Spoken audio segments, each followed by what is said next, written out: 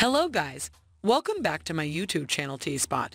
In this video, at the point when the presidential elections are over and the electoral votes are tallied, the Roys are constrained to act as the kingmakers in the eighth episode of Season 4. Roman and Shiv are attempting to get an advantage for their candidates, so Tom is feeling the squeeze to create an outstanding news report of the political race results. The decision is ultimately surrendered to Kendall, and assuming you're pondering who Waystar supports, here is all that you want to be familiar with the consummation of Succession Season 4, Episode 8. The initial scene of the eighth episode, titled America Decides, shows Tom and Greg preparing for the political decision polls broadcast. Tom is uneasy, and a call from Kendall puts much more pressure on him to give intensive coverage of the political decision race's closing stages. Greg tells Tom about his night out with Matsson and his gang as the journalism staff examines the coverage. Nonetheless, Greg is unclear about what to do since he has prevailed upon Lukas Matsson's favor. The Democratic candidate for president, Daniel Jimenez, is as of now ahead in the vote count, according to Leave surveys. Shiv and Roman quarrel about Jimenez and Jeryd Mencken, as they'd back either candidate as a result. Later, Shiv tells Matsson in a private conversation that Jimenez is in the lead, which is advantageous for them since he is not prone to obstruct GoJo's acquisition of Waystar Royco. Matsson admits that he had spoken with Greg. Shiv continues to communicate with Nate Sofrelli as she works to advance her cause of Jimenez. Kendall talks to Jimenez and calls Nate. He makes vain attempts to get Jimenez to assist him in keeping Matsson from attempting to acquire Waystar. Therefore, Mencken's triumph in the political race is Kendall's best wager because it will ensure that the agreement will be impeded. At the point when Mencken and Roman first meet, Mencken declares his desire to work with Roman, regardless of whether he loses the political decision this time around. Shiv and Roman soon start making connections to make sure that their candidate receives the most media possible. Tom starts to feel the pressure and starts coordinating Greg in other places. Later, he makes Greg do cocaine with him. As polls close nationwide, Connor Roy realizes he has far to go prior to winning the political decision. As a result, Connor works with Roman to attempt to accept the ambassadorial position Mencken offers him.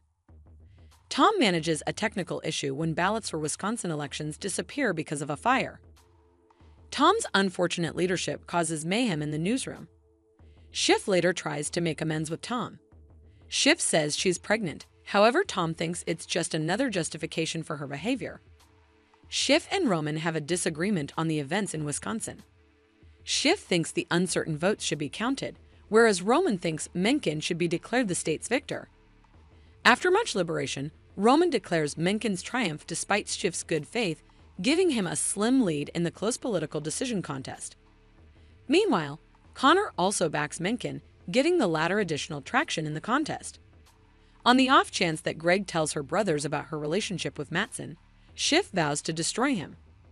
Mencken is leading, so Roman tries to persuade Kendall to declare the political decision champ or risk losing Mencken's support. And supercharged coverage of a tight political race battle is featured in the episode.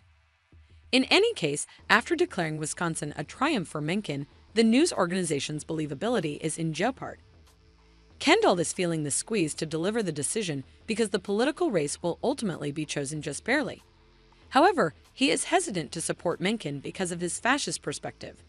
In any case, supporting Jimenez does not guarantee that the sale of Waystar to GoJo would be stopped. Thus, Kendall is in a tough spot and asks Shiv for guidance regarding the decisive action.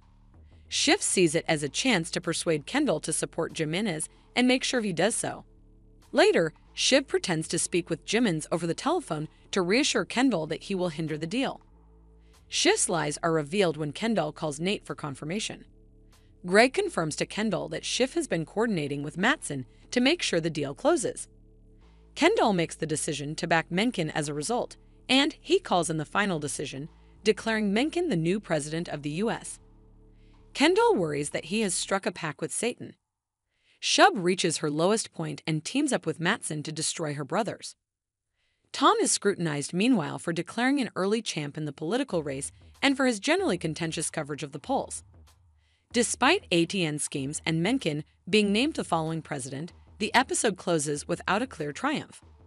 On the surface, apparently Shiv came in last in the biggest power race the nation has at any point seen, with Kendall and Roman getting what they desired. Then again, Kendall appears hesitant to make business decisions and will almost certainly want Roman's assistance in the event that he wishes to keep his position as chief of Waystar. The fight for control inside the Roy family is profoundly affected by the political clash, and the episode finishes with the distinction being made among Roman and Kendall and Shiv and Matsson. Let us know what you think in the comments below. And don't forget to like, subscribe, and share the video. Thank you for watching. See you soon.